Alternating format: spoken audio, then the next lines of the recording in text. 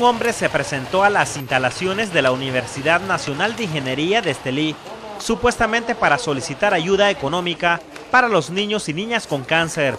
Pero según la docente María Elena Portillo, este hombre era un estafador, por lo que de inmediato llamaron a la policía. A todos nos convenció porque él imitaba mucho la voz de...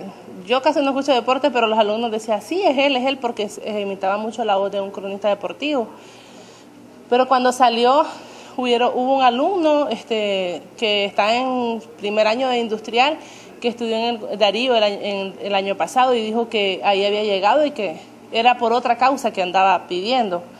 Eh, una profesora en la UDO también dijo de que nunca le dieron los, lentes, entonces este, yo llamé a, un canal, a un periodista y me dijo de que sí, que había en, en Condega ya había una denuncia y entonces este, fue por eso que pensamos que hoy este, si venía pues íbamos a llamar a la policía.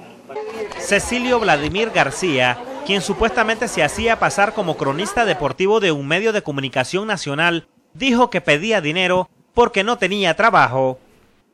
¿Solo ahí anduviste en la uni? Sí. ¿Qué te dio por ir ahí? Que no tengo trabajo. ¿Cuánto tiempo tenías que estar sin trabajo? Más de un año. ¿Un año? ¿Vos no sos de aquí? No, Managua. Pero contando, ¿qué pasó? ¿Cómo fue que te despidieron? ¿Qué te dicen en el momento que te despidieron? Simplemente andaba teniendo orden de parte de la MUNCE, pero dicen que andaba estafando y en ningún momento andaba estafando. ¿Vos te negas entonces de lo que te señalan? Sí, pues sí, sí, no, yo no he hecho nada. La policía de Estelí informó que actualmente están investigando esta denuncia interpuesta por las autoridades de la universidad y confirmó que Vladimir ya estuvo detenido en Nueva Segovia por este mismo delito. El cual fue capturado porque este andaba estafando a la gente y eh, en nombre del TN8 y aquí por la UNI, en el barrio Nueva Amanecer, desgraciadamente del mismo nombre, el Nueva Amanecer casi. Entonces, ¿qué es lo que nosotros le hacemos un llamado?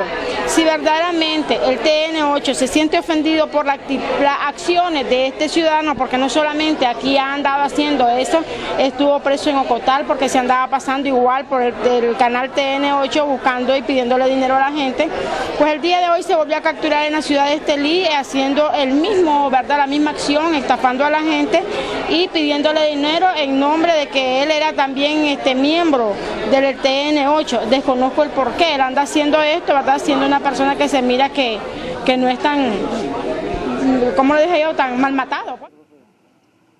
El sujeto pedía una ayuda simbólica manifestando que era para apoyar a niños con cáncer Cecilio Vladimir García llegaba a las universidades de Estelí argumentando que era una promesa que estaba cumpliendo porque su hija se curó de un tumor en la cabeza. La policía instó a las personas que fueron estafadas por este sujeto que interpongan la denuncia. Con imágenes de Lester Leiva, para Todo Noticias, les informó Guascarirías.